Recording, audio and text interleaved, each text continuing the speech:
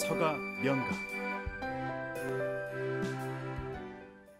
네, 그렇지만 이제 뭐니 뭐니 아, 또 제가 책에서도 어, 그 길게 논하고 있었던 작품은 그 어, 공각기동대입니다.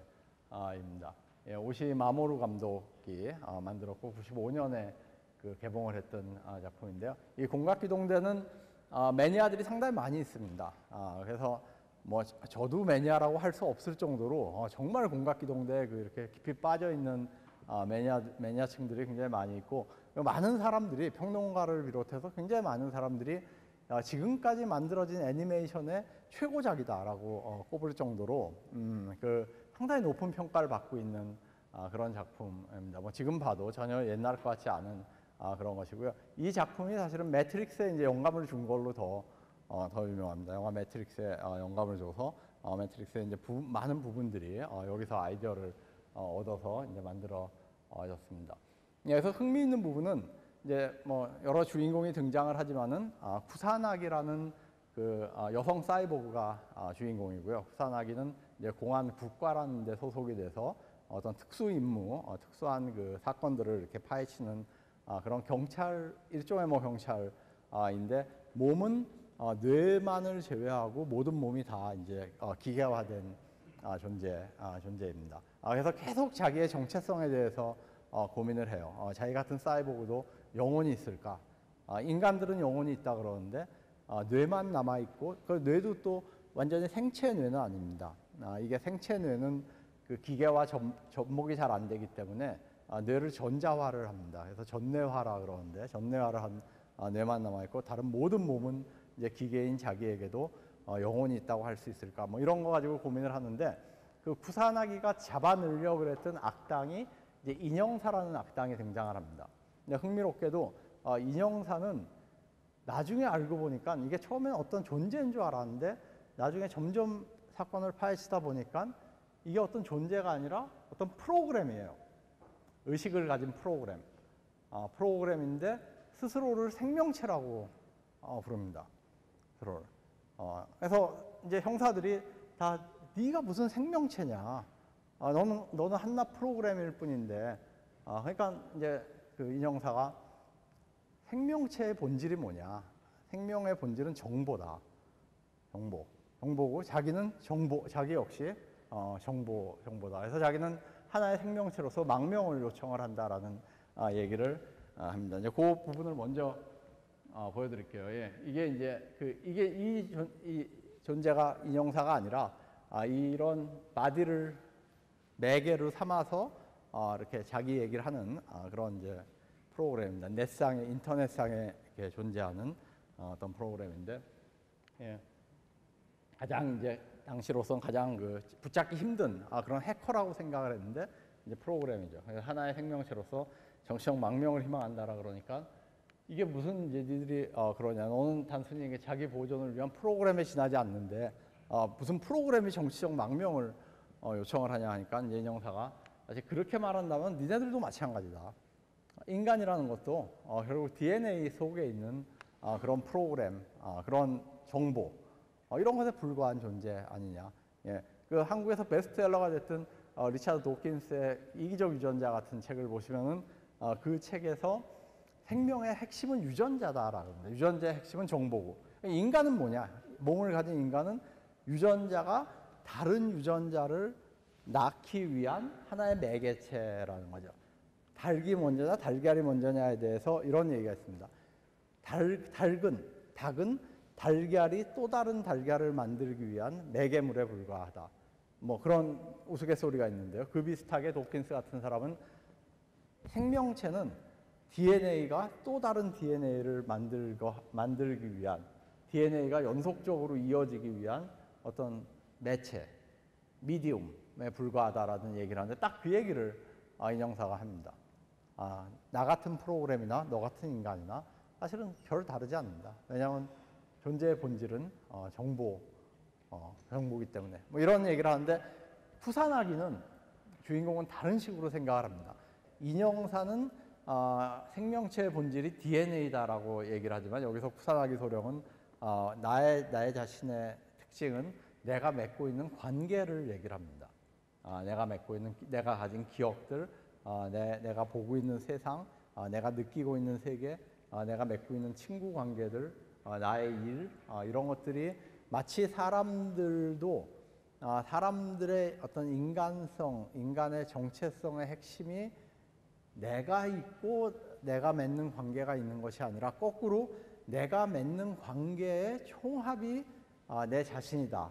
아, 라고 생각할 수 있는 것처럼 아, 여기서 구상하기는 아, 자기 자신의 영혼, 아, 자기 자신의 어떤 인간성, 인성이 있다면 어, 그것은 아, 내가 맺고 있는 관계 속에 아, 있을 것이다라는 아, 생각을 아, 합니다. 그러니까 한편에서는 아, 생명의 본질이 정보다라고 주장하는 사람 인형사와 아, 또 다른 한편에서 아, 생명의 본질은 관계의 총합이다라고 주장하는 아, 이두 가지의 서로 다른 입장들이 아, 팽팽히 맞서가면서 나중에는 이것들이 이제 하나로 통합되는 아, 그런 결론을 아, 내게 아, 됩니다. 상당히 그뭐 철학적으로 심오한 아, 그런 영화인데 액션 자체도 아주 훌륭하기 때문에 아, 뭐 이렇게 봐도 아, 그 아주 즐겁게 볼 수 있는 아, 그런 아, 영화입니다.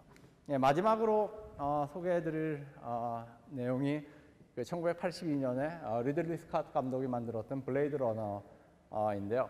어, 이 블레이드 러너는 흥미롭게 이 영화에서 그리고 있는 미래의 시점이 2019년입니다.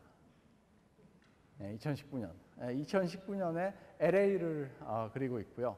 어, 뭐 영화에서 설명은 안 나오는데 어, 아마 핵 전쟁 같은 거의 여파로 어, 지구가 굉장히 그 살기 힘들어진 어, 그런 세상이 됐고 아, 그래서 자꾸 이렇게 외계를 어, 개척을 하고 있는 우주를 어, 이렇게 개척을 하고 있는 어, 그런 모습이 어, 영화에서 등장을 어, 합니다. 그리고 그 우주를 개척하는 게 아까도 말씀드렸지만 굉장히 힘든 일이기 때문에 인간에게는 어, 그런 목적으로 어, 인간과 비슷한 어떤 존재를 만듭니다.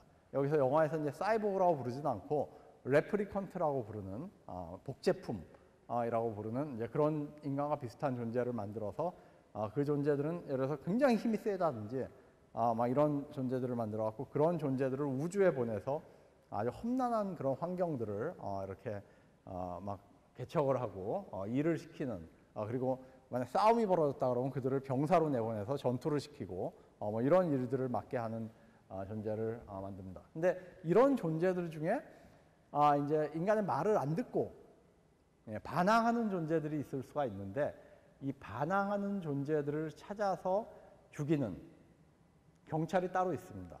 아, 특수 경찰이 있고 이 특수 경찰을 블레이드 러너라고 어, 부릅니다. 예, 영화 제목이 어, 블레이드 러너고요. 예, 그래서 이제 어, 주인공은 어, 블레이드 러너가 이제 어, 주인공인데 이게 그 해리슨 포드가 이제 어, 역할을 맡았고요.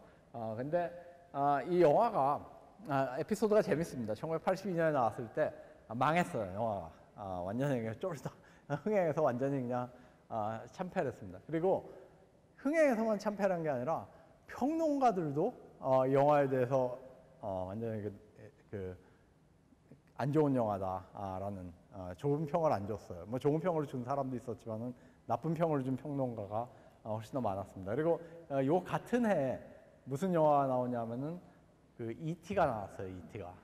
예, 그래서 E.T.는 완전히 막 전 세계적으로 막 붐을 일으키면서 어, 떴는데 이 영화는 그냥 이렇게 가라앉아 아, 가라앉아 버렸습니다.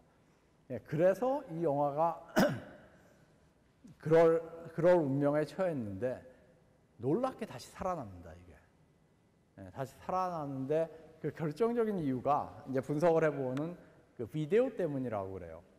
아, 비디오. 사람들이 이제 가정에서 비디오를 구입을 하고 그 블락버스터 같은 데서 비디오를 빌려서 어, 이제 보기 시작을 했는데 이 영화를 보니까는 한 번 봤을 때는 잘 이해가 안 되는데 또 보고 중간에 스탑해가지고 또 한참 생각하다 또 보고 아, 또 보고 그러다 보니까 아, 정말 잘 만든 영화. 아, 생각할 거리가 굉장히 많은 영화다라는. 그러니까 그 비디오로 영화를 보고 또 보고 했던 그 사람들을 중심으로 입소문이 나기 시작을 하면서 어, 영화가 어, 굉장한 영화다. 아, 라고 얘기를 합니다. 뭐 또 약간 과장이 있을 수 있을지 모르지만 많은 사람들이 지금까지 만들어진 SF 영화 중에 최고봉이다. 아, 라고 꼽는데 주저하지 않습니다. 아, 지금은. 예, 그러니까 혹시 뭐 안 보셨으면은 처음부터 끝까지 한번 쭉 아, 보셔도 좋을 것 같고요. 그러니까 작년에 아, 이제 2019년이 될 때 작년에 맞춰서 블레이드 러너 2049가 나왔습니다. 예, 블레이드 러너가 이 영화가 2019년을 모사하고 있기 때문에 아, 지금 만들어진 새, 새 후속작은 아, 2019년이 아니라 2049년 그로부터 이제 30년이 지난 아, 그 시기를 다루고 있는 아, 새 영화가 아, 만들어져서 나오기도 어, 했습니다. 예, 여기서 그 영화의 도입부에서 굉장히 그 흥미로운 장면이 나옵니다. 인간과 인간과 똑같은 replicant 사이보그를 어떻게 구별할 거냐라는 게 나오는데 이 경찰이 쓰는 테스트가 있습니다. 아, Voight-Kampff 테스트라는 아, 테스트가 있는데요. 이 테스트를 가지고 질문을 해, 하다 보면은 이 사람이 human인가 아, 아니면 만들어진 아, replicant인가가 아, 구별이 아, 구별이 됩니다. 서가 연가